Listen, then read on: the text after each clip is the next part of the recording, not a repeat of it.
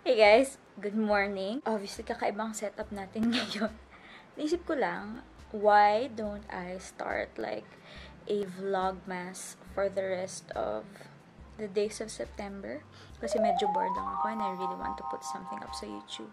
And I thought, why not show you kung ano talagang life ko every day. Very, very not glamorous.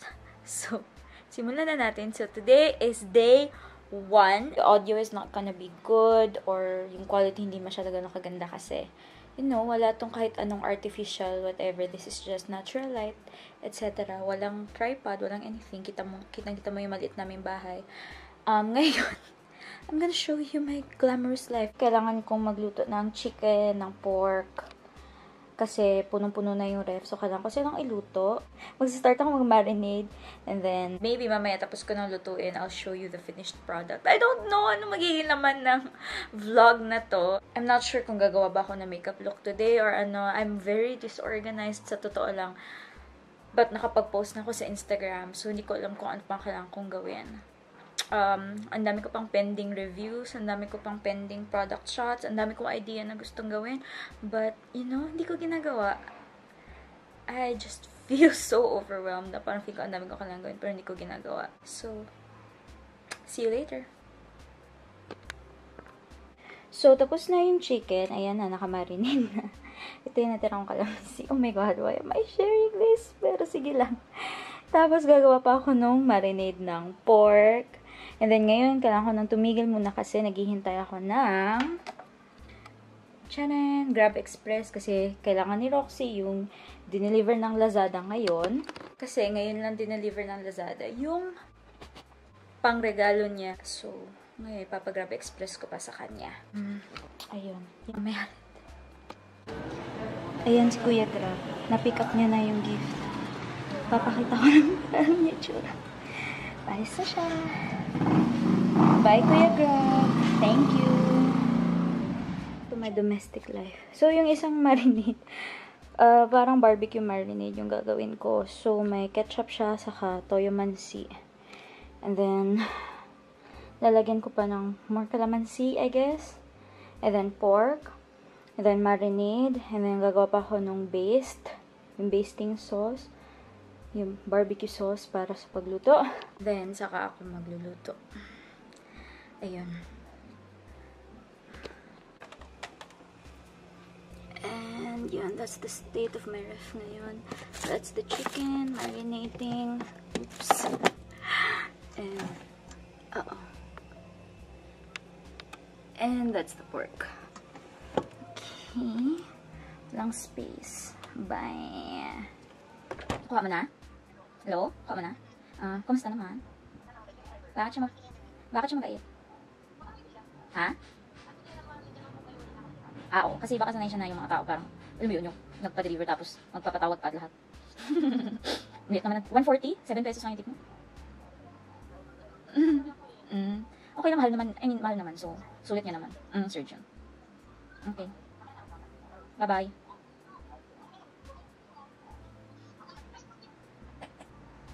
Next is lunch.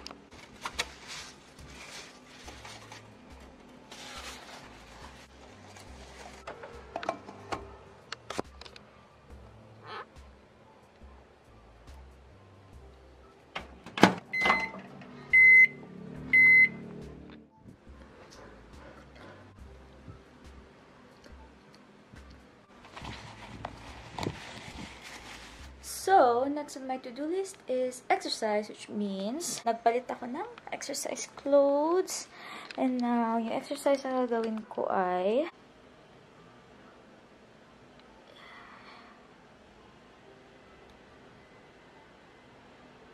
itong dalawa. So, I'm gonna start with this. Tapos ng workout, ha? Now, it's workout 2.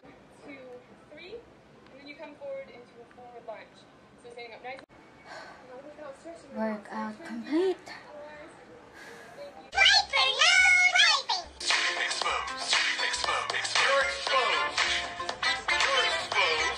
Time to watch a YouTube video cooling down. you are exposed. I'm gonna expose you. Oh my god, expose you.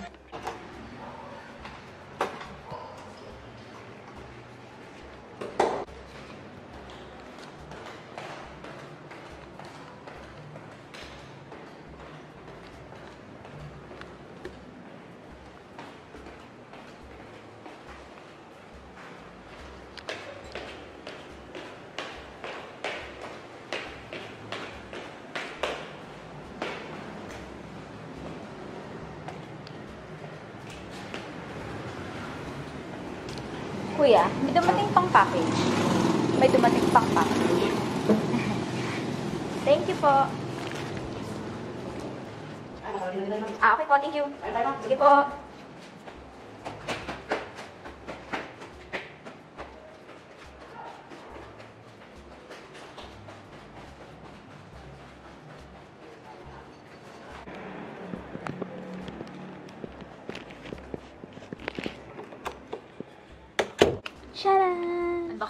Agad.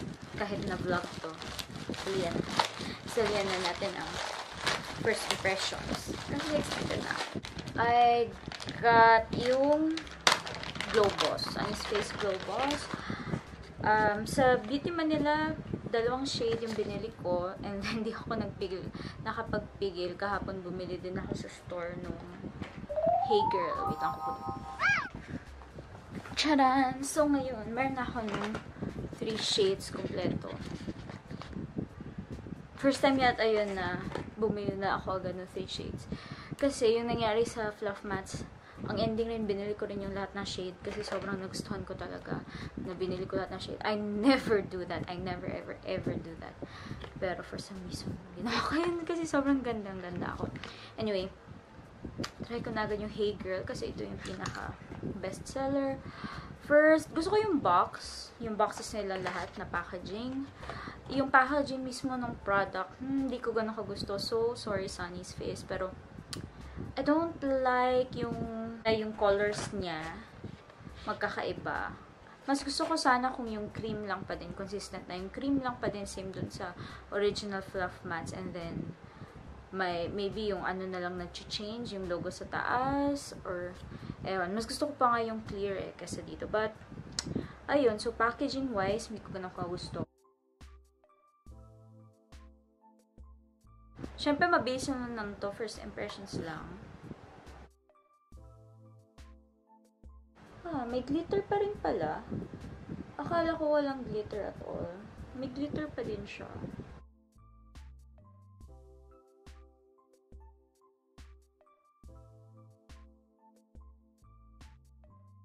Kita ko yung glitter, pero hindi ko kita yung shine halos. Like, may glitter pero walang shine. Tingnan natin kung may pag may light sa camera phone.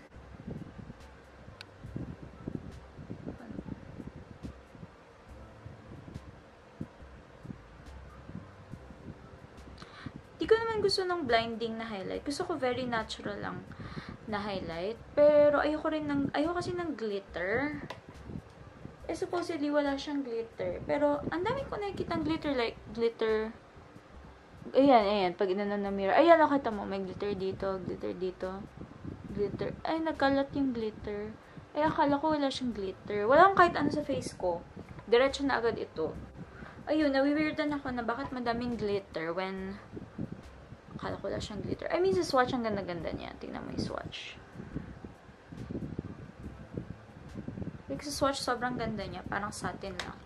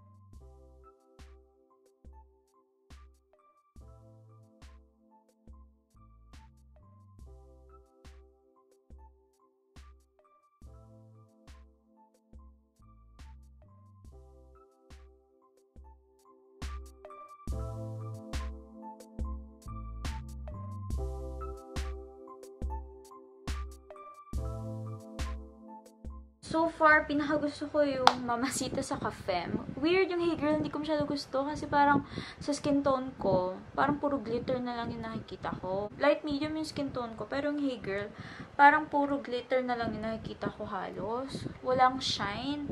Eh, yung gusto ko talaga, shine. Parang shine lahat. If possible, like super, super minimal lang yung glitter. Gusto ko yung Femme kasi yung coral blush niya, sobrang ganda. Like, bagay, ano talaga, para siyang Nars Orgasm, pero balmy. And, uh, yung Mamasita, ang ganda niya sa high points ng cheeks as bronzer. Kasi, may technique kasi yan na yung bronzer mo, gamitin mo parang highlighter, tapos mukha kang fresh and um, parang summery yung look. So, yun, gustong-gusto ko yun kasi parang, ano, nagka, may, may effect kasi siya na parang sobrang natural yung itsura. So, um, so far, first impressions, di ko, medyo underwhelmed ako kasi parang hindi nagta-translate yung swatch sa skin. Like, di naman ako nag-expect ng blinding. Pero like, yung shine, halos hindi ko makita at all yung shine sa indoor lighting. Parang, baka pag sa natural light, mas maganda. Ito try ko bukas sa natural light, mag-post ako ulit. Kasi vlog lang naman to supposedly. Anyway, yun. So, so far, first impressions, medyo underwhelmed pa ako. Pero gustong gusto ko yung Mamasita and Femme. But, medyo mag-glitter silang tatlo. Least glittery for me, yung Mamasita. Parang least obvious yung glitter. Uh, first impressions, hindi ko pa ma-recommend. Not sure. We'll check in natural light tomorrow kasi indoor lighting, wala ko masyadong makita. Ayun. Next. Kailangan sunduin si Lexi.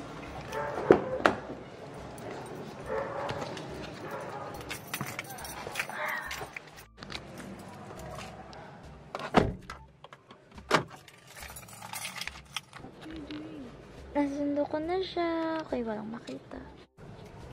You know B-roll? Ano yung B-roll? In 100 meters, eh. turn left. Then turn left.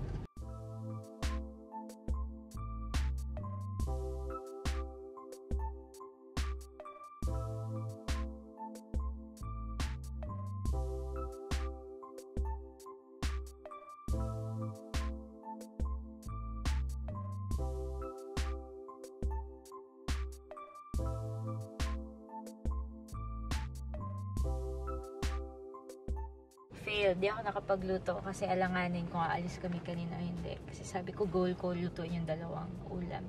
Ang ending, hindi ko naluto kasi supposedly alis kami and then hindi na.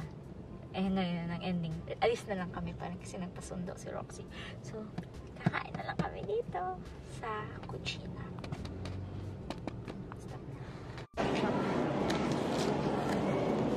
Ah, isa pong grilled liempo, Liempo. saka isang fried pork.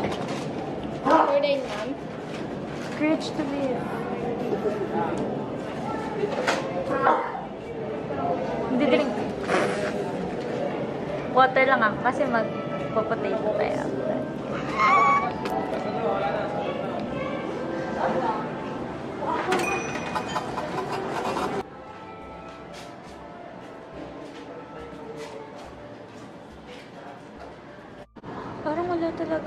kita. Parang fake ang dami ko na nilagay, pero hindi pa rin siya kita. Glitter or shine? Hindi glitter ang hanap ko, syempre shine. What's Ikaw the nga. difference? Sorry. Huh? Shine looks smooth. Glitter looks like glitter. Chunky.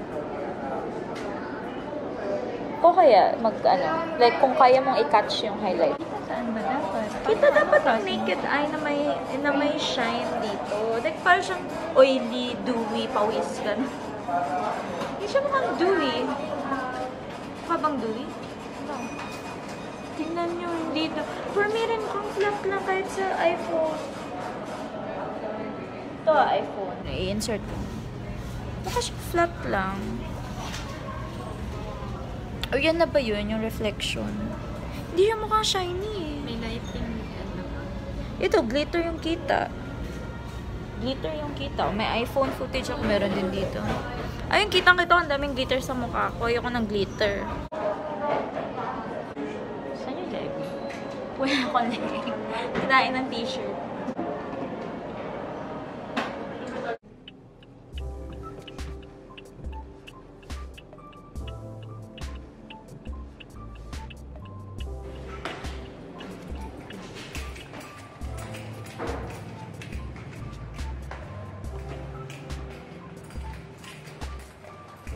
I-open namin yung mga regalo na nakabili ngayon. Which, this one is yours? Ito kay Roxy. Rock Stars. Um, nilalock siya. Tapos ginagawang keychain.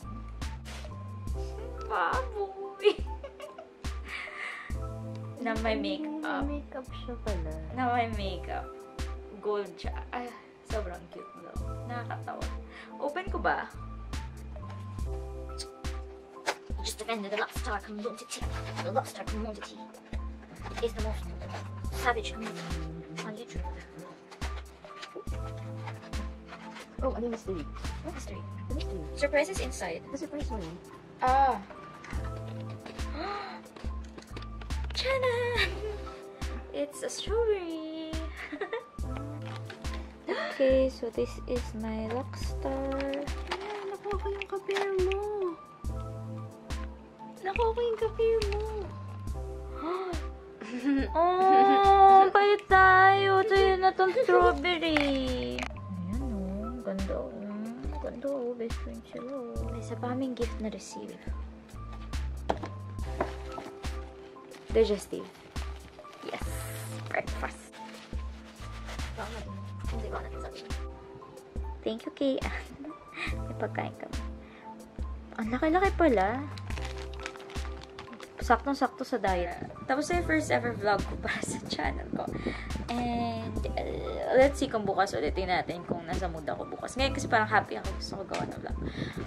Ayun. Bye!